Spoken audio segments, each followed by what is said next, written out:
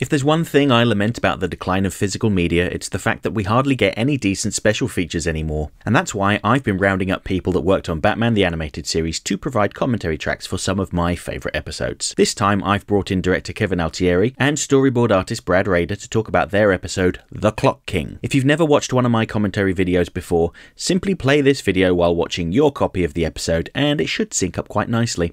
If you don't have the episode to hand, don't worry, you can still listen to this as if it were a podcast podcast. I kept the recording going after the episode ended, and we have about 45 minutes of additional discussion about their influences, the making of the show, and Batman the Animated Series' legacy. In fact, it probably would have gone on longer if Zoom hadn't stopped recognizing my microphone. Anyway, it's time to bring up your copy of the show, so get ready to press play in three, two, one, now.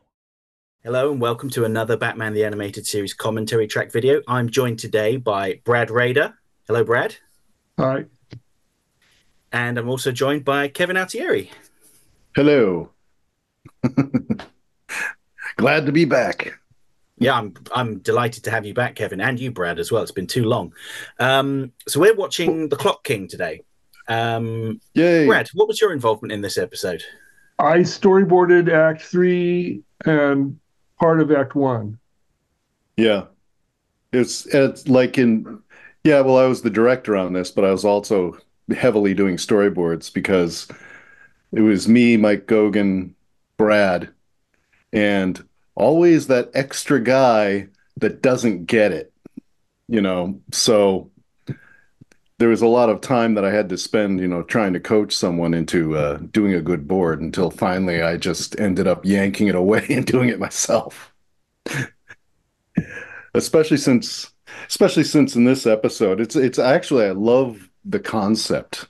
Um, this Clock King I thought was brilliant. You know, it's a great character, and I love this opening.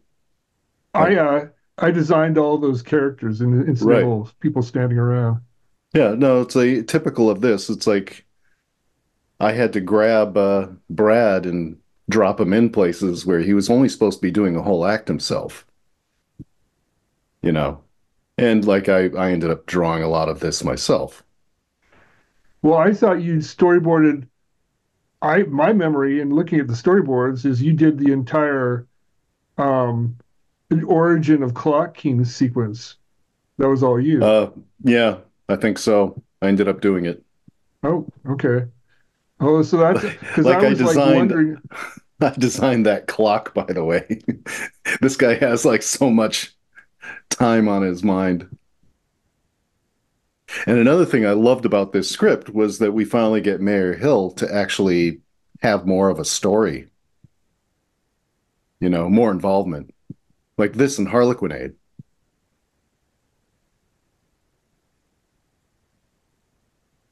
And I love this I love this setup.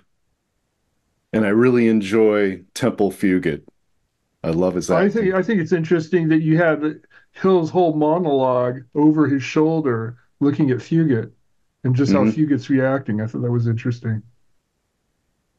Yeah. Gasp. See, you could tell that really was my drawing. All of. Whap. no, one of the things that like I was thinking about when uh you know we were looking this over again after all these years is that you cherry picked the origin of Tempus Fugit because you usually cherry pick the action sequences, but now I understand. Yeah. It wasn't by choice, it was by dire necessity. Sorry, Brad. Look what a prick this guy is. So when he turns into a villain, you have to establish that he's not that nice a guy. You know, he has his obsessions. Again, gasp. and this is where everything. I think this is. I, I believe this is Mike Goguen. It was certainly. I mean, it was either Mike or a combination of me and Mike. I think. No, that's me. That's right throw the little bird in to uh, keep the scene alive. Ah. and now it all goes wrong. The thing I love about this scene is it's just it's a series of unfortunate events, but in his mind, it can't possibly be random. It has to be like some orchestrated campaign against him. It's yeah so insightful into his character's mindset. Yeah, well, he can't do anything wrong.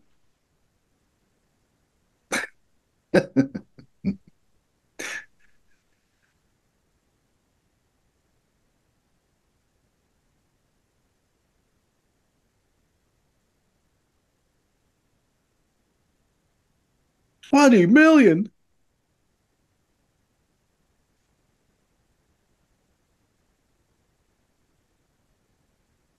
Oh well. that's you. Except that the inside of his throat, this is another thing about working with animation studios. I knew that uh, Sunrise couldn't get it. Um, for instance, when you see the Clock King, the model that went out was actually the black outfit that the Clock King eventually has in the next episode that he's in. Um, but because it was sunrise, there was always that fallback, like the inside of his throat in that last shot was supposed to be black. There was a model that existed somewhere where it was colored red. And then we said, oh, no, no, change that. Oh, the brown suit's kind of cool. Oh, yes. That was Karen, uh, our production assistant. Her cat was sick, so the cat turned out to be okay. So we throw in a little uh, Easter egg for uh, there. That's great. It's that a was... mortal cat now. yes. yeah, this is this was all me. But then and then just to finish that Sunrise grabbed the model that they wanted. Like they grabbed the brown suit, they grabbed the inside of his throat being red. And there was and and there was there was just so many retakes when it came back that there was just so many that you had to let go. You know, because I this the show has to go. The show must go on. And this is how you do crowds in animation with a studio that can't animate crowds. Nobody moves.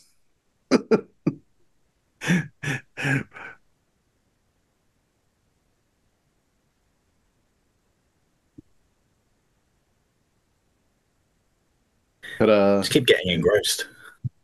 Yeah, well, it, it's a really good script. You think something really bad's going to happen?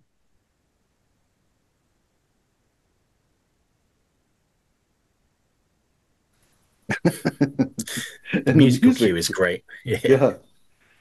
And this is one of the more fun uh, musical yeah, music tracks that we had too. Ta-da.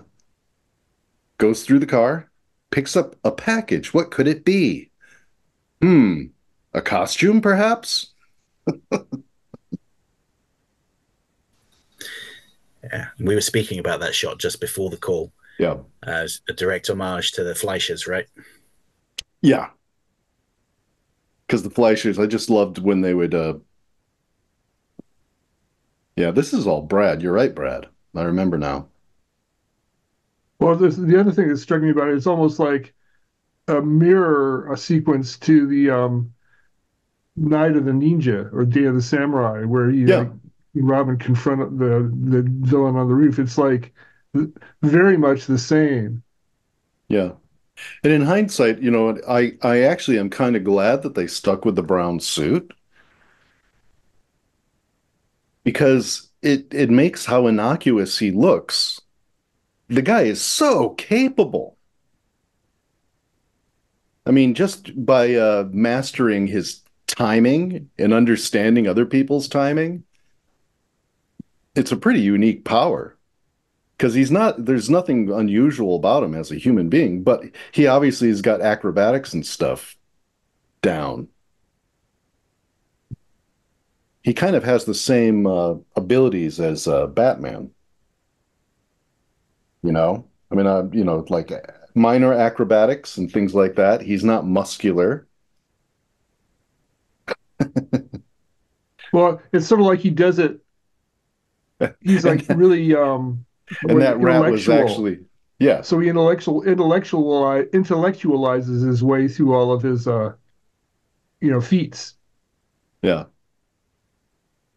And I, I'm really glad that um the thing about this one too was we kind of bring back the detective Batman figuring things out, which not enough episodes really had him do. No, I think the only other time we saw him wear these goggles was in uh, on Leather Wings, wasn't it? I believe so. It's kind of like why I wanted to bring him back. Uh, and like scenes like this, they're very simple, you know, and they're staged very simple, um, simply. But it really needs better animation, in my opinion. You know, mm. it's the simple stuff that you really need some zing to the animation. Like the reference to Norm Breyfogle, yeah. Yep.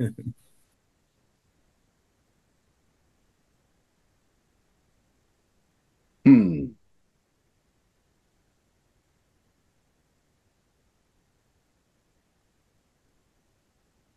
And yes, and the difference is that this one, you see, it's like it does take place. You'll notice like the time on the wall is eight. Originally, I thought that this was going to be at night. You know, time is the big thing here, you know, of course. So it ended up not, you couldn't do it at night. Ah, yes, Toth Street.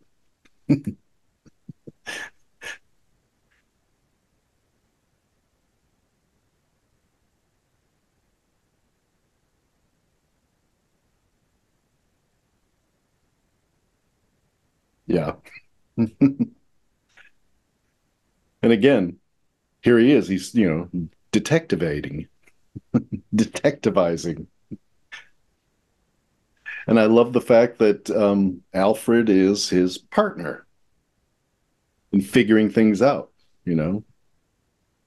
And I love the fact that they said that together. I just like the image of Batman sitting around in the back of his his car being driven around by Alfred during the day.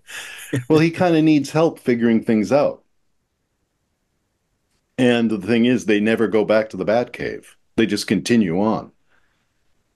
Um, was it that way in the script? I not really. I remember I just did that to just cut down on the amount of locations and stuff. And the fact is, if he shows up with the Batmobile, he'll have a whole ton of crap that would never get him into this situation. You know, it just seems more natural that he could be trapped just having the limo, you know? Just kind of a reasoning that I had in my head.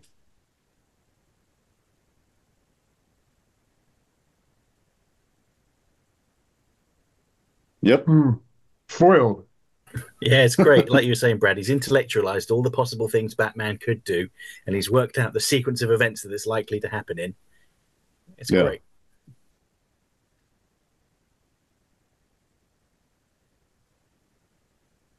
And the thing is, is like how rotten he is. You know, because he just uh, Temple Fugate. He knows that uh, he's going to have to deal with Batman,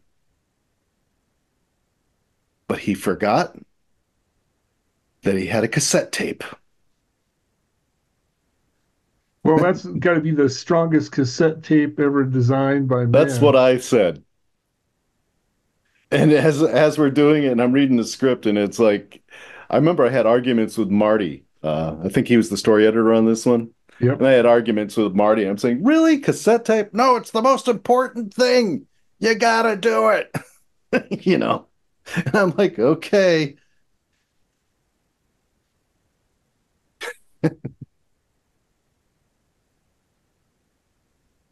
Yay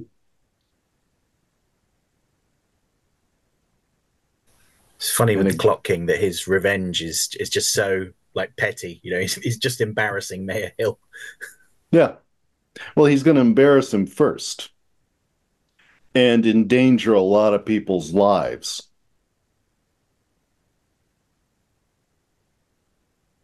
I actually think the James Bond film actually ripped us off, didn't they? Which one? I didn't see it. Well, you'll see it when the when the train crash happens in a little bit. Hmm. And this, I again, I had the arguments. You know, it's like trying to get them out, and I figured uh, just like take sandbags of money, you know.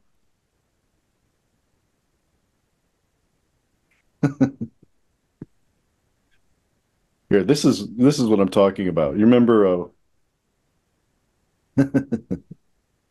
the Daniel Craig uh, ba- um, James Bond film with the train crash. I think they ripped us off, man. It's entirely possible. Not really, no. oh, I don't know. Well, you never know. and again, this script was full of crowds, and this is kind of how you handle it.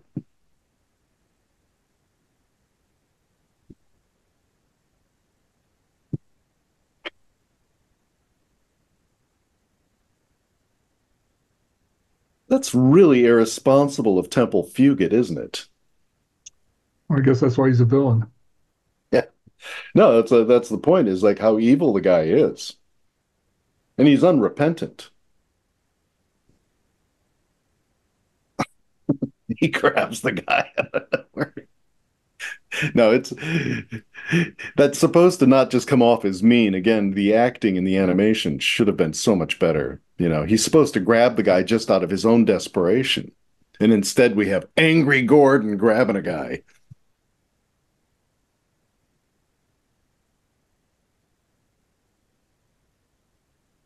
Yeah. Kind of a silly situation inside the vault, but it's a cartoon. And quite often, what is silly and melodramatic in live action comes across as being, you know, profound in animation. Well, that was the thought anyway. We're trying to justify what we did. Yeah, I remember it being thrilling.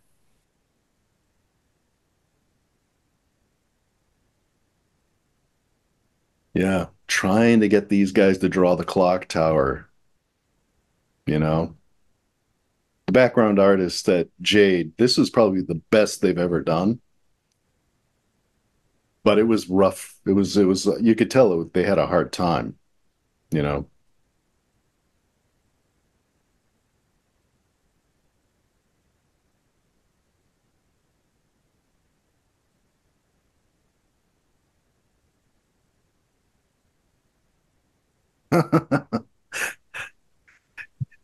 Fugate.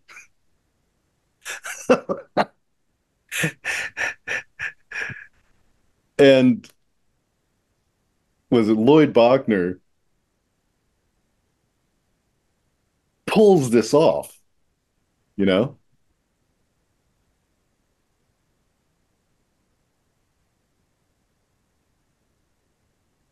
Yeah, yeah. the performances this, in this episode are so great. Yeah, and just board wise, this is kind of uh, Brad's uh, tour de force, I think. One of many. Yeah. Well, no, it's just like, um, yeah, it was it was a lot of fun.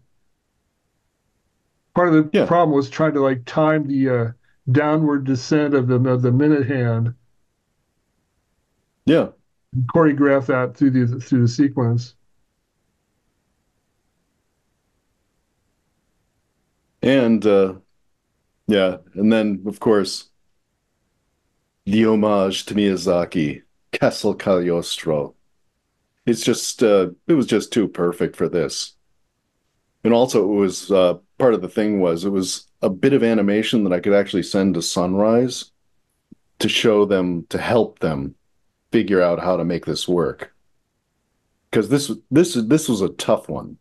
And they it really would have been great if TMS could have gotten this episode. All all these moving well, one of the things that strikes me is those they're on like a turning, a continually yeah. turning thing, and they don't have them like walking sideways to deal with it. Yeah, well, like but then I I, was looking at the board last night, and they were actually on a walkway, right. That's what I was going to make it in the say because that wasn't supposed to be a turning thing, but that's what I got because the background guys were too confused by uh, how com- complicated this was. Everyone was complaining about this one, you know. Yeah. Oh, this background's hard. Really? Do we have to use Roman numerals? Oh man. you know. So they ended up like substituting the turning thing instead of the walkway. And that, you know, Mhm.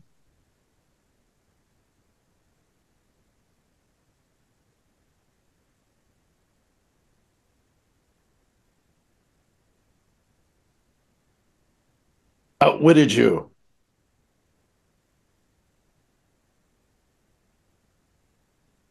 Yeah, I wonder if Batman really did count how long it took him to do that, if he was just pulling that number out of thin air. Well, I think Batman works more off of instinct, whereas Few gets locked in with time and what he, you know, what he can do with it. Whereas Batman just, you know, finally he defeated him just by using his own reflexes.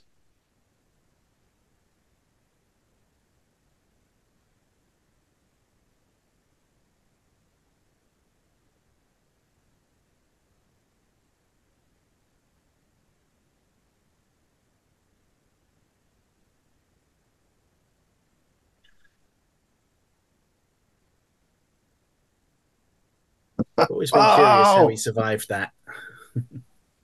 It's again, this is that's very classic Batman that we rarely did. Because if you remember, like, like the early comics and stuff, there was always like, "Do you think the Joker got away?" I don't know if he could survive that fall, but only time will tell, you know. And this is like a kind of a classic Batman, you know, villain escaping thing. It looks like he got creamed, but did he?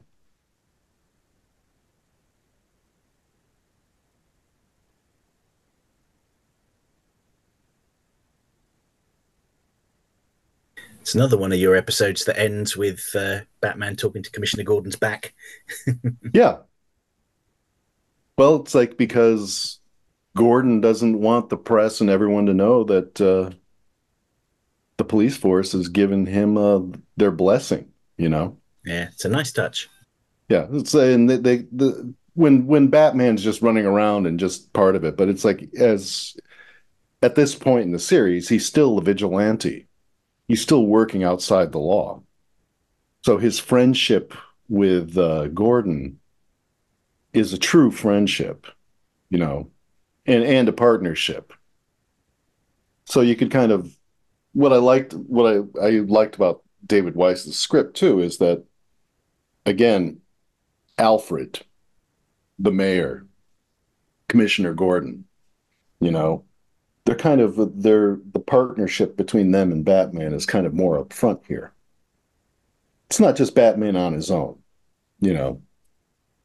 And in this script, you also see it kind of focuses on Batman figuring things out, using his brain, being a detective, as well as being, you know, a kind of a force of nature, Mhm. if that makes sense. Oh, yeah, absolutely does. Yeah. Yeah, but this one this one was difficult as the director of it, you know, this one was a difficult one. You Mhm. know. Thank God I had Brad. Yeah. Well, you also had somebody cleaning my storyboard in Act Three. I'm assuming it was Glenn Murakami. Yeah. And Glenn uh Glenn was uh did he wasn't supposed to be a character designer at this point, but Glenn, you know, Glenn was just a revisionist, but I would use him to do character designs because he was such a good character designer. And he could nail the style of the show. So I think a lot of the crowd people, a lot of the background people, you know, like the people just laying down was uh Glenn. And if you want to see Glenn's style, that just look at the back that the Colas cat saved on the newspaper. yeah. pure Glenn. That's a pure Glenn drawing, and and let that and let that be a little bit more cartoony. That that really was his personal style. But because it's a photograph within a cartoon, you can let it be a little bit more cartoony than the rest of the show. You know? And uh yeah, and I was like, yeah, Karen's cat was Karen's cat was sick and she was really worried about it. And then, you know, and then a couple of days later, it's like, How, how's how's the cat doing? It's like, oh, just got him back from the vet and he's doing pretty good. Oh, thank God, you know. So stuck that in there. Didn't even tell her about it. You know. I assume she noticed when the episode went out. Yes. Good. and uh, at that time, I had uh, in the office, I had uh, a rat that a rat named Shmoo that was uh, this big old gray rat. Uh, I inherited her because uh, my ex-wife Kathy had like a had it you know a pet rat that she had from uh, work at Disney, and then they wouldn't let her you know have the rat at, at work anymore, and so I felt so bad for Shmoo that I ended up just carrying her around with me. So she that Shmoo did a did a, a cameo. She was the rat that jumps on the onto the windshield and looks in at Alfred in the car. If you see in the alleyway. Yeah, yeah, yeah, I know exactly the one. Oh, that's, yeah. that's great. yeah, and I, I don't know. I think Glenn might have done Glenn or Mike Goguen might have done that character design, but it was based on Shmoo's big butt. Because she was like a classic big old gray rat with a big ass. That's getting clipped. Sorry. with a big butt. Uh, so, Brad, um, as we mentioned earlier, you did a lot of the storyboards on this episode. Do you have any any recollections of your time from working on it? No. uh, well, when I asked you about episodes you'd like to talk about, you said, "Oh yeah, let's talk about the Clock King." So, what well, made you want to talk about Clock King? Um, I don't know. I guess because of the uh, Miyazaki uh, influence, um, and also, I mean, it reminds me of um, an Alf episode we did, which was basically we ripped off the mountain mountain car chase from um, Castle Cagliostro 2. Only was yeah. Alf's parents like uh, in a Winnebago, in a in, in a, uh, a Melmacian Winnebago being harassed by a um, a um, farm a farm machine with giant cartoon hands. So that was yeah. uh, you know basically um, I mean I don't know that I I mean I may have had to go back and like look at look at the um, storyboard or the the video for it, but I don't think so. I think I had no. basically internalized it. Yeah. No, at this point, it's like we had uh, again the the extra artists that ended up not being on the crew very long. I just remember it's like I'm in there talking to you, Brad, and I'm talking to Mike Goguen, and we're having meetings, and it's like, well, you know, we read the script, and we're like, yeah, it's like this is the only uh, the only option really is to like do Castle Cagliostro. You know, it's just the clock tower. It's like we we you know, it's like it's it's clear. It's like the script obviously intended that. The script right. it was the script that dictated that we do Castle Cagliostro. Right. The ending. Um and for me, Brad and Mike, we're just yeah, you know, we're just talking about it because we've seen it so many times. We know what we're going to do. Brad's like, yeah, I'm on board for all this. And then I've got this other guy just like, well, how about this? And if we do this and blah, blah, blah. And like just someone like squawking away in my ear. And I'm like, God. it's like he doesn't, there was that one person that doesn't even understand what we're talking about, has no idea, you know. It's like on mm-hmm. my cruise, there always seemed to be that one extra person that just did not get it you know? Yeah. Yeah but it's like yeah i don't it wasn't like you know i i mean i know you didn't you didn't go and like reference the movie. It's like it's just that we've already seen it so much and it's so much part of us that uh well there are times when i did reference movies. I mean yeah. you, you would suggest a movie to reference and so then i'd go out and rent the movie and watch it. And yeah sometimes freeze frame and sketch off the movie to get camera angles and cutting and stuff. Yeah. I remember when you said I should like on one of the episodes, I think it was um the Poison Ivy episode, where you said, "Oh no, this is like reference um Night of the Demon," which Yeah. I had watched um back in college and kind of sneered at at the time, but then rented it again and fell in love with um um the producer, uh, Val Lewton. Yeah. Just of like bong, and then I went on like like a month, uh, a year long Val Lewton kick and watched everything I could by him. Yeah. Yeah, no, that Mm. was uh yeah. Yeah, it's like well, the whole thing and the, the thing about like movies like well, like Curse of the Demon, and I believe it was Eternal Youth we're talking about, right? Right, right. Um yeah, the thing about a lot of the references that I would give, like live action stuff, is mainly that with no budget, what some directors, and I think that was Tourneur, um, Yeah, yeah, he was the Yeah. French guy. yeah, it was like what they would do with almost nothing Right. is amazing, you know. Well, that Like was Kurt- the the trip with film noir, classic film noir. Yeah. Is like you could like do shit on the cheaps, do stuff on the cheap, and um and um Sorry, Luke. cover it, cover it, and keep it, not not put any light on it. So Yeah. it, it was very instructive for how to pick out the important details with light and leave everything else in the shadow. Yeah. which was also um a, a big um touch point for us. Yeah. And which was unfortunate in this one. It's like it was essential to the script that everything is in daytime. And uh you know, I couldn't uh you know, I couldn't get Marty to change that, you know. It's like it was like, no, no, it's important that he starts out the day just like he did in the day where he's going to work and blah, blah, blah. okay, whatever. It's like it's like it's all daytime. And then at the very end, finally it's night. But w- the clock tower could have easily been, but it's supposed to be three. You know, it's got to be three. It can't be three in the morning. So it's got to be three in the afternoon. You know, that's essential mm-hmm. because, you know, he's going to be killed at exactly 3.15. And I'm like, got it. Got it. If only the, he went to night court, then we could have changed it. But then you wouldn't have had the three, which was like perfect for, you know, the trap for, you know, Hill to be on that so that when it hits 315, he's squished, mm-hmm. you know.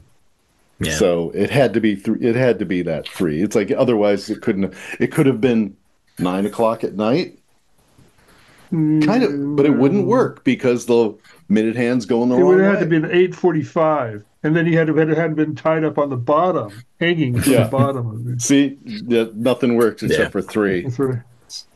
That's right. So Marty Pasko was correct on that one. Well, and also it it was like uh, referenced um, Castle Cagliostro and that stuff with Yes. you know the the evil guy and the princess and Lupin on the clock hands. Yeah. So it was a direct reference, swiping, I'm, whatever you want to call it. I wouldn't say Tasteful homage. Yeah. But that was that that was definitely part of the script right there, you know, and it was obvious that David Wise had seen Casa Cagliostro and this was like his one chance to actually get inside that clock tower and have fun. hmm Yeah. And um, I was looking at the storyboards earlier, and the I think the episode had a different title earlier on, didn't it? It was uh, it was labeled as "Time See What's Become of Me," which I thought that's, that's quite a, Yeah. a lengthy That's a- title. That's a that's a uh, Marty Pasko thing. Oh, I don't I don't think I don't think that was yeah, it was like his story editor, that's the kind of stuff he would uh, do. It's like it strikes me as being his sort of thing. But then Bruce would go, No. Too many words. Clock King. it's like Yeah, it's very it's on like the it's an in- introduction of the character. Yeah. Like uh Cat in the Claw, part one and two, for instance. Mhm. I really thought that it should have been the first one. It should have yes, it's a two parter, but I thought that my episode the first one, should have just been Catwoman. You know? Because, yeah, there's a plot, the cat in the claw, and it's like, you know, red claws in there and all that. But it's the first time you see Catwoman, and I think just the title of the the, the character would be important, and it's like kind of like that. That's why it works here, you know. Mm. There are some characters like Ra's al Ghul and stuff where you don't do that, but um, these iconic characters, you know. So Clock King is actually a better title for this than the whole rambling thing. Mhm. And then, of course, the Yeah. next one is Time Out of Joint, which is got a really much better animation job than we got on this one. But the whole concept of time travel or time freezing time and stuff is like, Jesus, where did that? That is a rather advanced technology for Temple Fugate to have harnessed. I mean, I didn't know he was that much of a scientist. I'd have to watch that episode again. But I was but I was very jealous about how good the animation was. Yeah, I mean, by that point in the series, I think you'd kind of figured out which studios were the ones to use and which ones were ones to drop. Yeah, well they actually hung on to too many of the bad ones.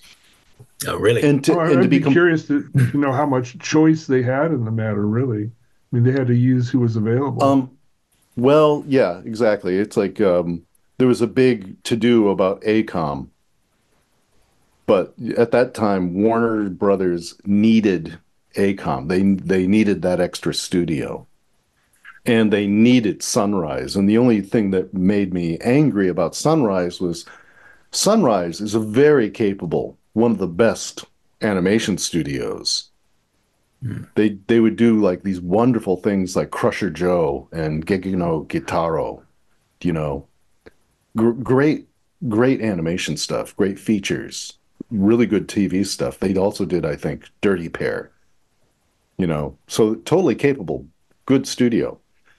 But what happened with us, like when we got, you know, I noticed this. It started out on Cat in the Claw, where it was obvious that it was farmed out. And Sunrise, I forget the name of the guy that um, was, you know, was our connection in Japan. He was kind of the agent working for Sunrise. But he's like, no, no, we're doing it all ourselves right- here in town, you know. And I'm like, no, you're not.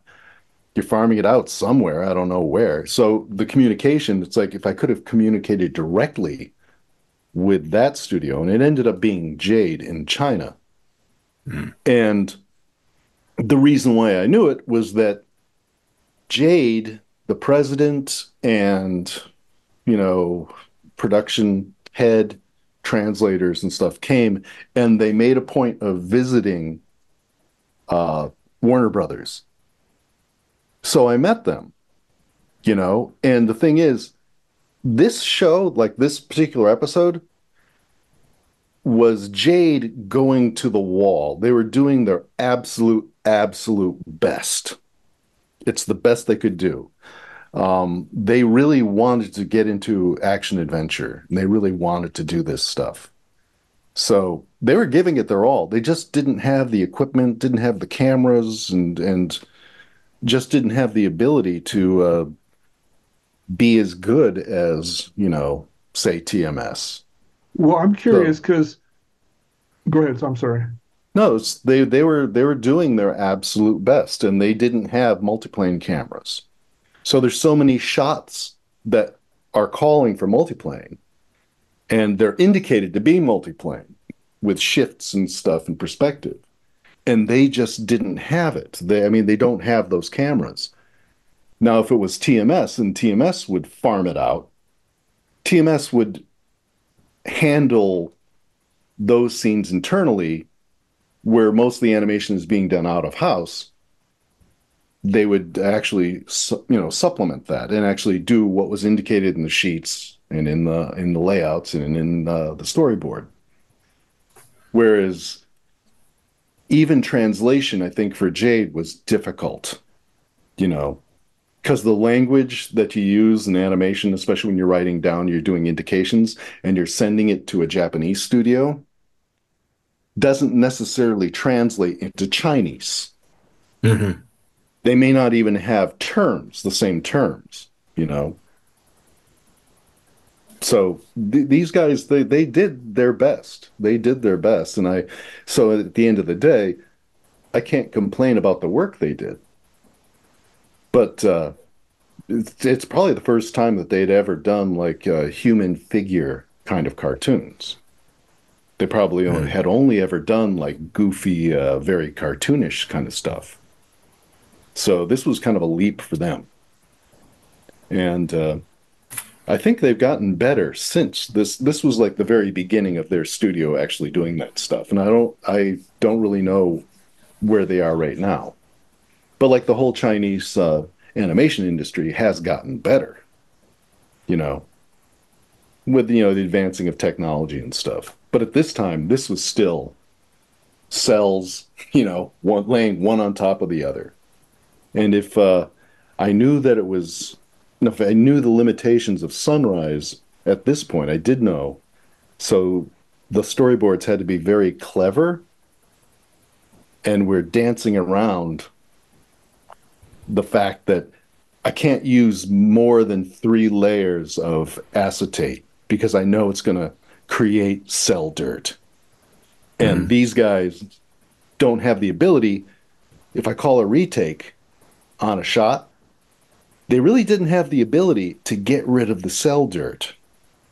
So the more times they would go back and revisit and shoot it again, more dirt's going to end up on the cells. And if you have more than three layers, that gets, you know, that that that gets really difficult.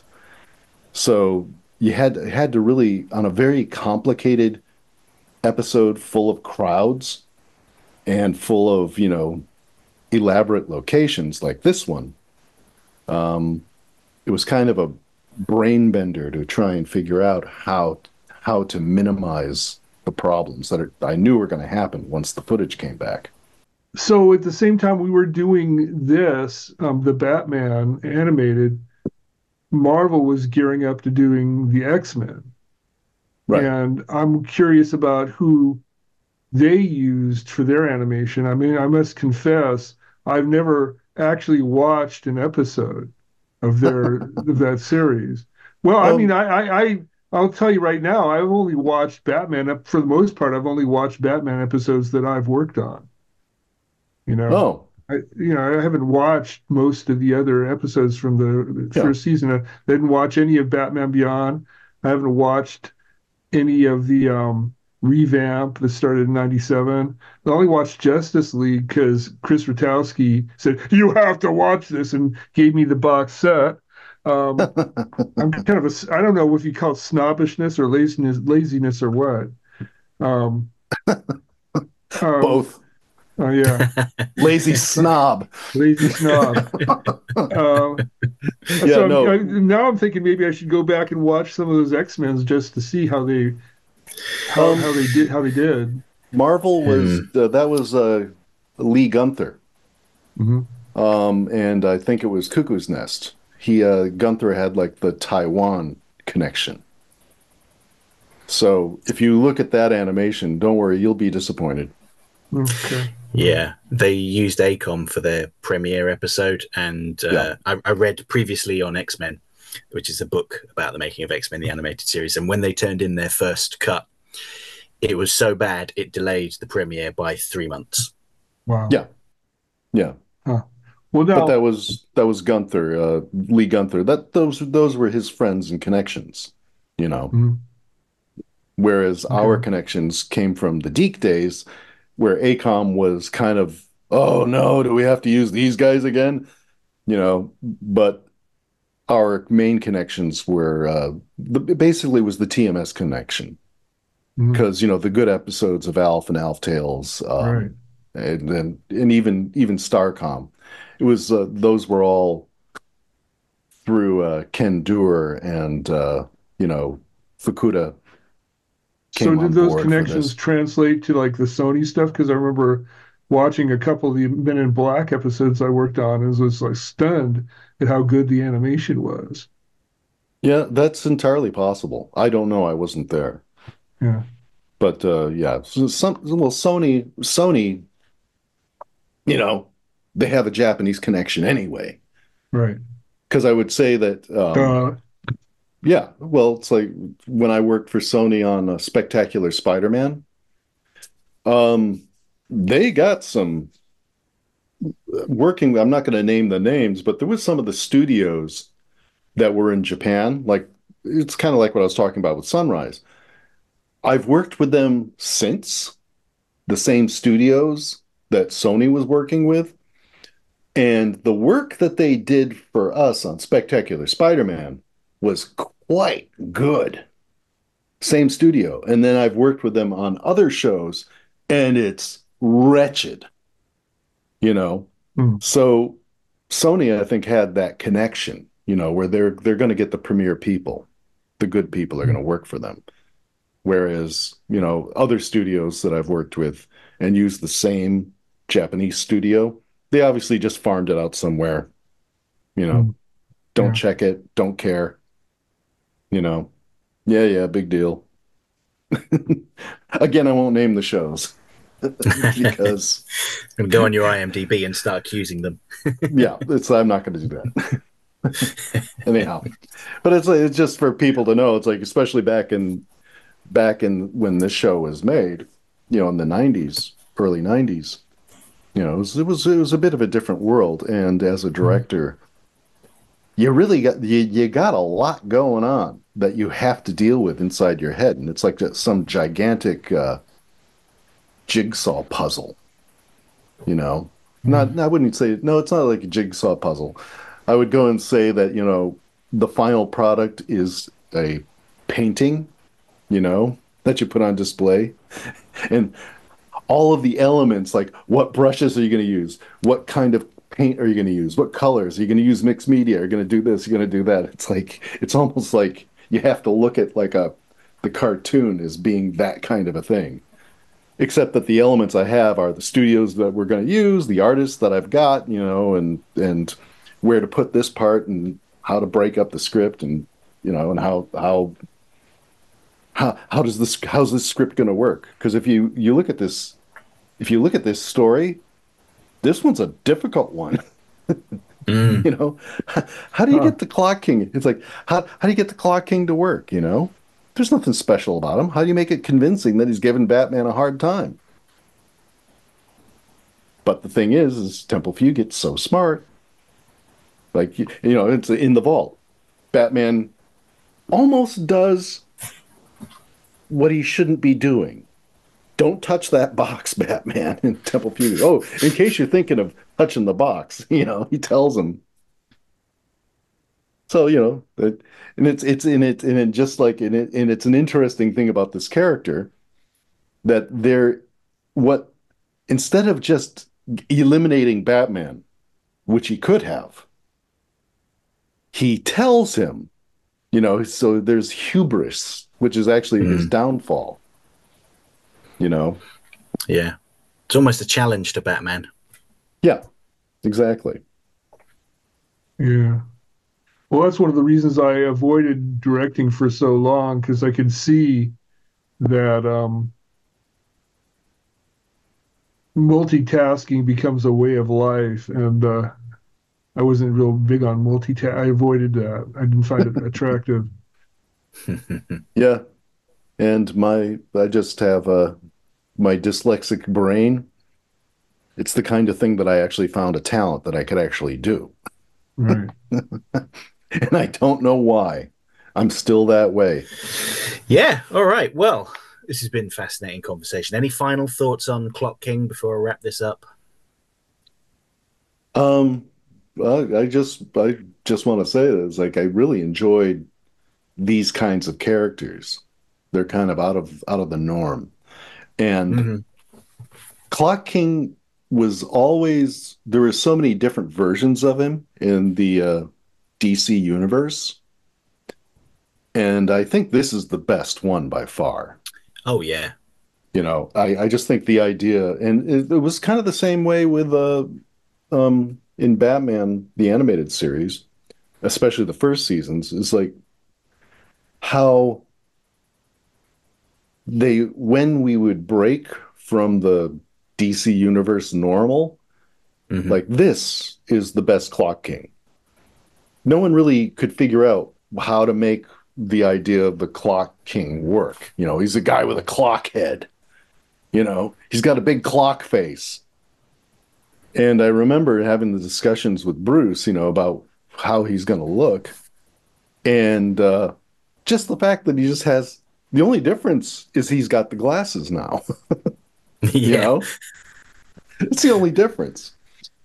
And it, and it, and it, and it's it, it actually creates a very intriguing character, you know. Just the fact that there is so little um, of the supernatural, whatever you want to call it, about him. He's just so normal looking that it's like that actually creates like a much more interesting, intriguing character. Well, one of my um my my favorite period of Batman from me, the golden age of Batman is from like 1969 to 1974, when yeah. he rarely fought the costume villains. I mean, of course, yeah. they, as they say, the golden age of comics is 12. You know, that was you know one of my late, late, you know, in my adolescent years.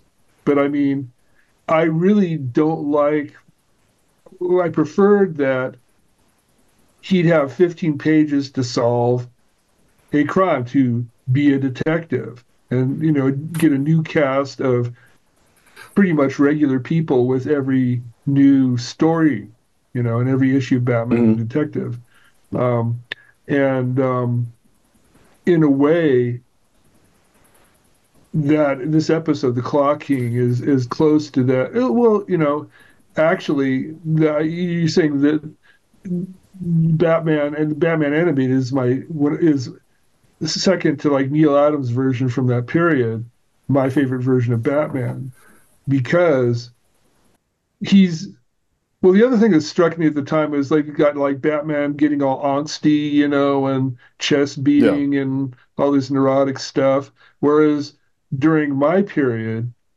and in the Batman animated, he's the adult in the room. You know, and he has his dark places, but he's gotten control of them. Yeah. Um, and I, I, I prefer that version of Batman. That's the version of Batman that I like. Yeah, I agree. No, that that that is uh, that's essentially why this. Well, it's why Kevin Conroy is so good. Right you know yeah. the character that he created that's the best batman and mm-hmm. When i see the movies i've said it before i'll say it again when i look at the movies i just go why is that guy even batman why does he care he's so mean spirited you know oh the dark angst and i do appreciate the dark knight returns you know miller's uh, but that isn't how the character has to be. Like, you know, that story is like it's a later age Batman. He's been through a lot. He hasn't been Batman for a long time.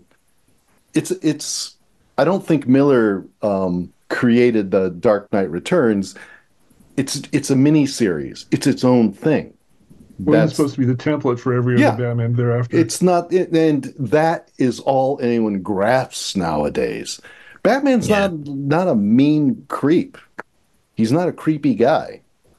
It's like it's good for that one storyline, you know, and it's unique. But it should be unique. It's also the same way I feel about Batgirl. You know, okay, Alan Moore wrote a horror story, The Killing Joke, in which Barbara Gordon is wounded why she didn't have to become Oracle. She could have recovered and been gone on being Batgirl and becoming Batwoman or whatever. You know, it's just like everybody's like, oh, you know, th- that if something like hits a hits a note, you know, and actually gets a lot of attention paid to it, all of a sudden everyone has to jump onto that bandwagon, you know, and make it canon yeah. of the of the series. and it's really not necessary. I mean, the, a lot of these things could just be, you know, standalone and just be their own thing. You know. Yeah. Like I like like for instance, I like the fact that the Clock King that shows up in the Harley Quinn series right now. Mm-hmm. It's for laughs and it's great. And they don't swipe this. They don't insist on this character, you know. They just have their own. And I think that's great, you know. But you're like everything yeah. everything about that series is its own thing. You know, and and it's it's like the Harley in that series and the Ivy in that series isn't necessarily the Harley or the Ivy that's going to be in any other Batman show.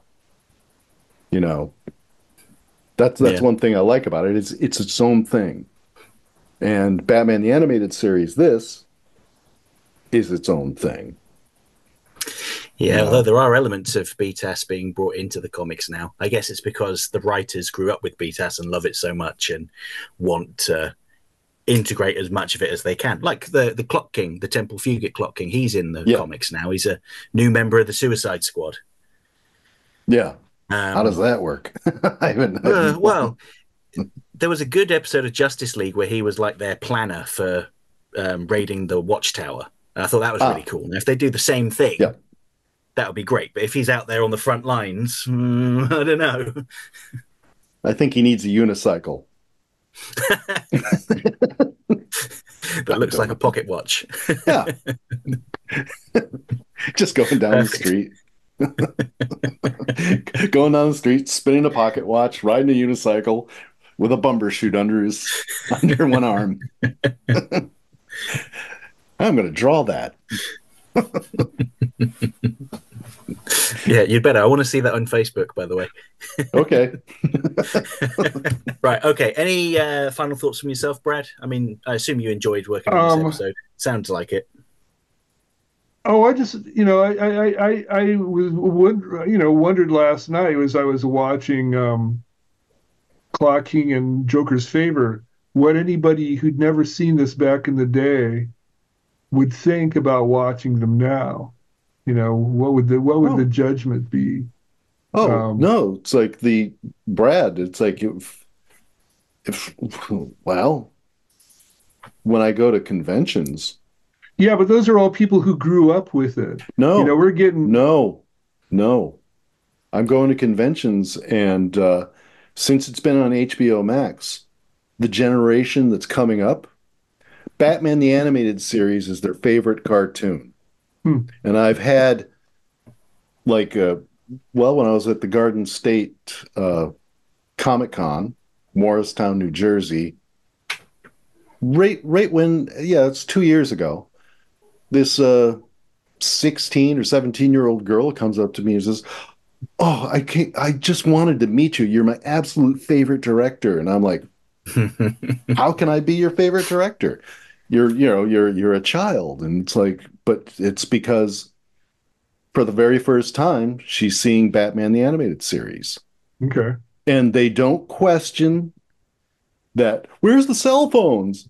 You know none right. of them. They they accept the world that this is in which is an alternate universe you know where there's still 40s technology. There's there are laptops all of that.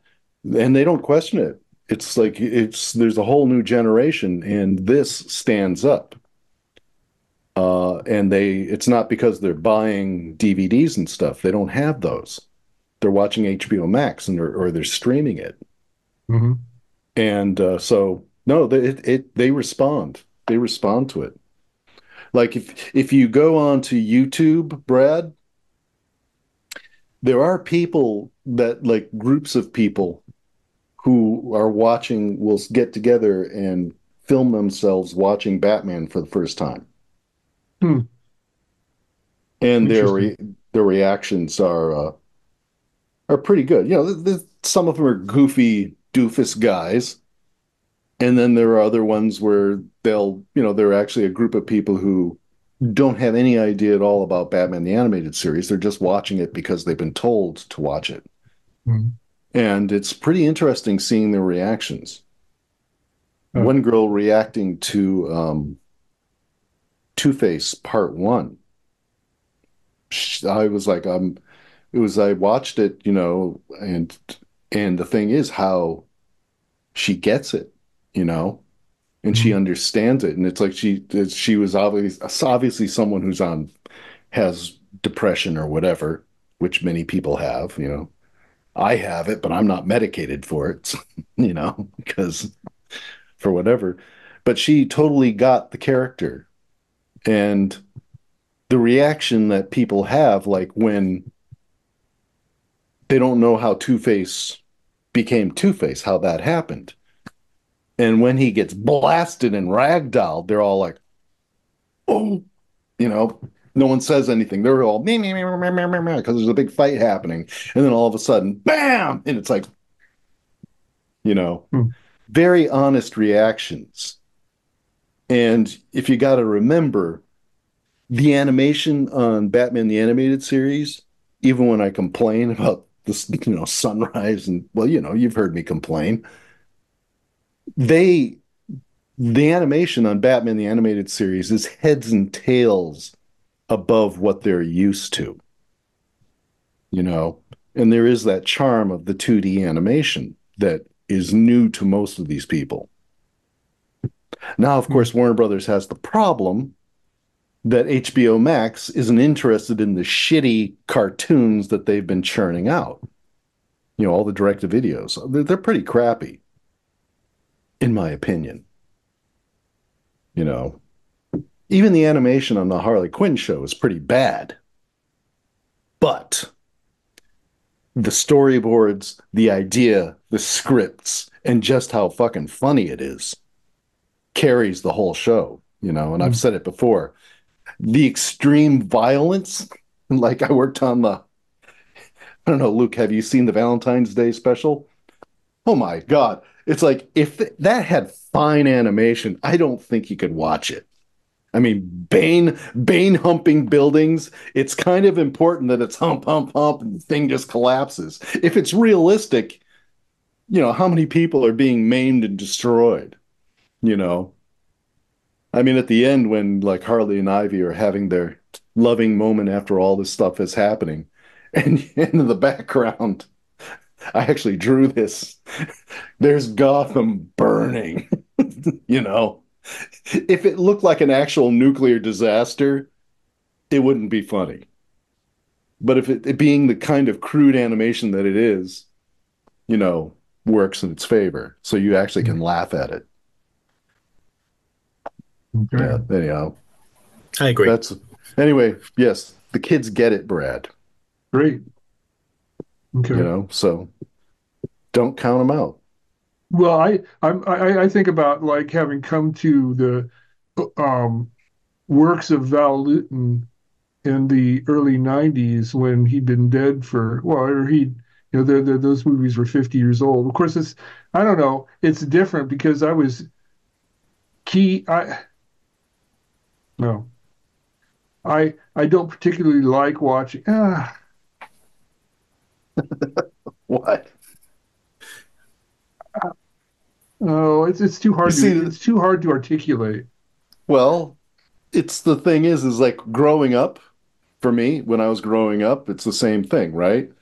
It's like I was weaned on Jonny Quest mm-hmm. and stuff like that, and I had the fortune of Disney films were regularly regularly re-released. Mm-hmm. So I was exposed to Snow White mm-hmm. at an early age and Pinocchio at an early mm-hmm. age, and uh, you know, so and and of course on television, all of the Warner Brothers cartoons, mm-hmm. you know, so that was that was what I was looking for, and the, the Popeyes and all that, the, the Fleischers. Um, but I still loved, passionately loved Astro Boy. You know, almost no animation at all. just just like simple, simple, simple animation. And mm-hmm. yet I loved it. Right. And I loved Kimba the White Lion too. Mm-hmm. So it's like there's just degrees of if it's good, mm-hmm. you know.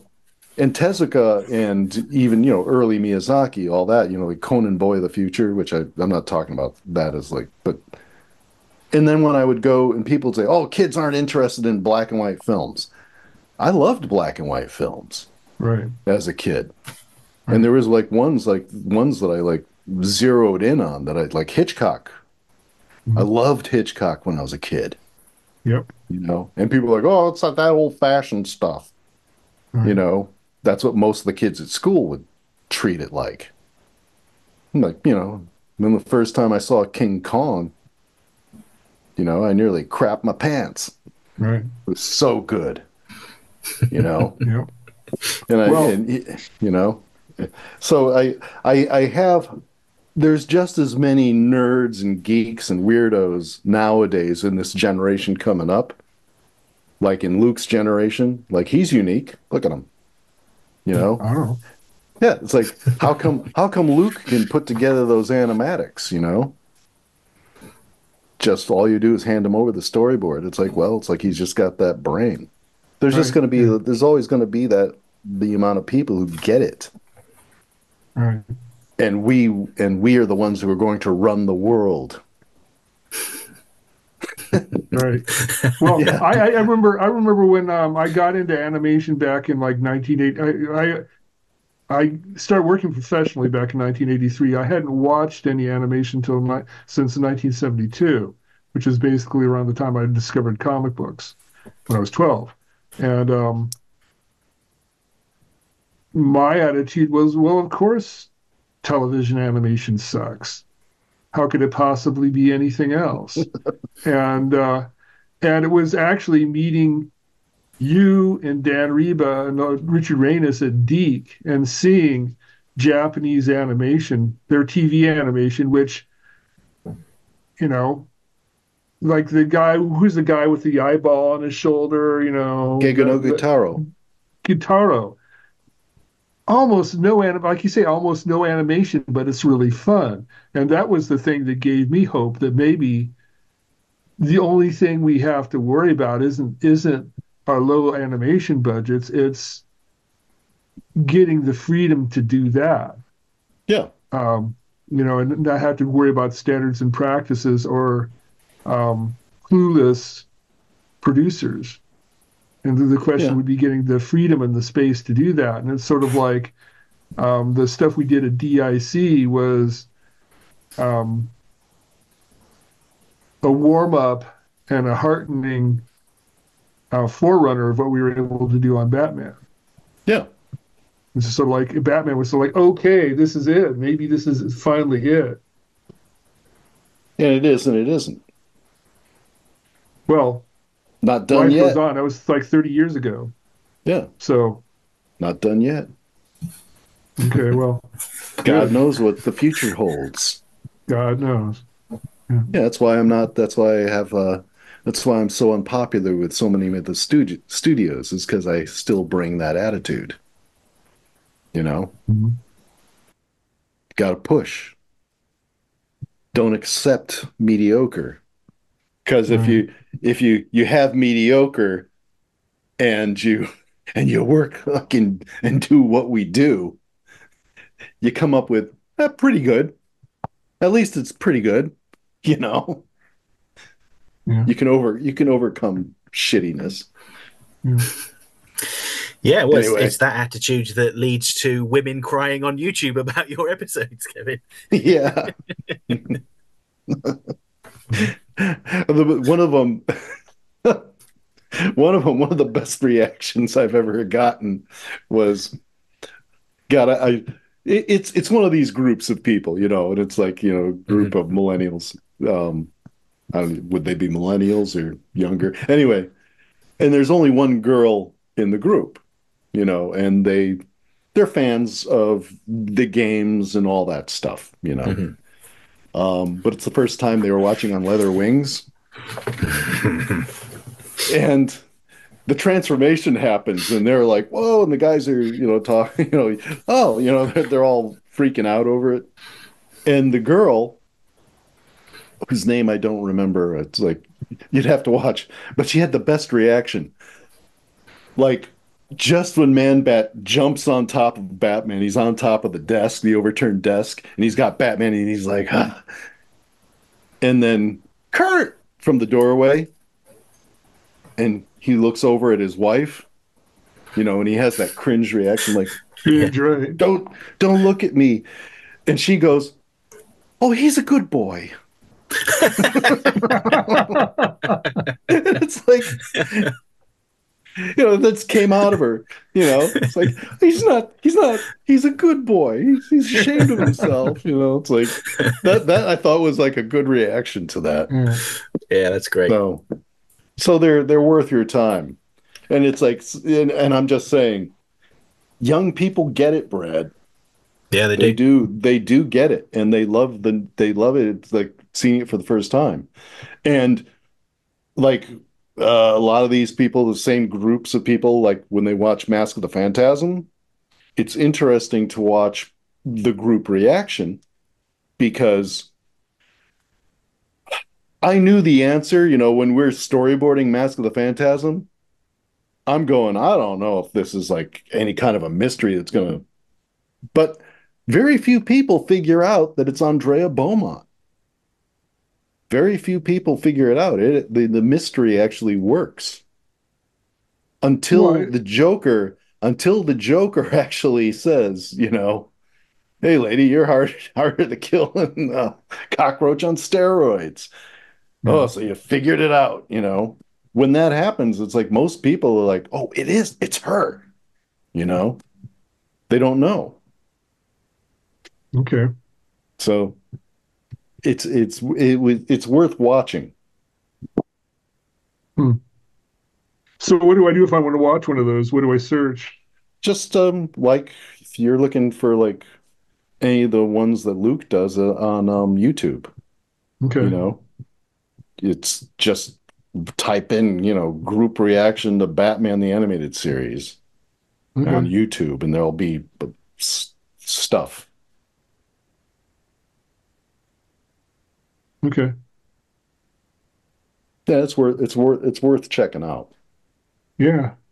Well, one of my And- one of my key key experiences was um, screen doing screening out Mask of the Phantasm with a matinee audience in Hollywood once, when when it was in its original release. So that was Yeah. really. I, I wish I'd been able to do that more.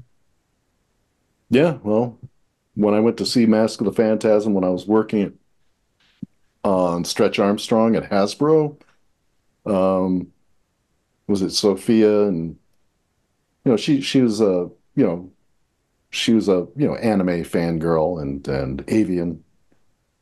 They were gonna go and see uh, a screening of Mask of the Phantasm, and Lauren Hmm. uh, and Lauren was also she's a big real Ghostbusters fan too.